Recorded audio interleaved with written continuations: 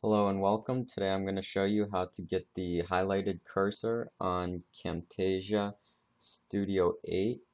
Um, I had been looking and couldn't figure it out uh, through the tutorials that I looked at. So I'm going to show you how I attempted to do it and how it was supposed to work. Uh, first I went to my Camtasia, opened it up, and I am on the trial version so I selected finish uh, maybe because I'm on the trial version it doesn't work but basically I go to the normal recording mode and I get the screen I go to effects and I go to options and over here are the tabs at the top uh, annotation sound and there's also supposed to be one for cursor but it's not there. Um, so maybe that's just a problem with my free trial version so I'm going to click OK and get out of that.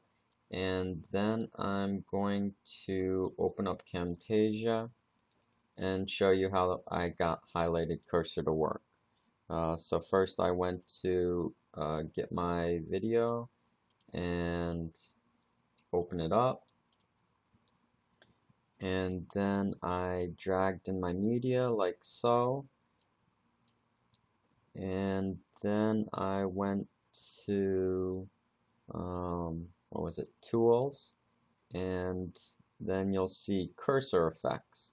So I clicked on that and I was presented with the options uh, here highlight effect and click highlight and I got the highlighted cursor.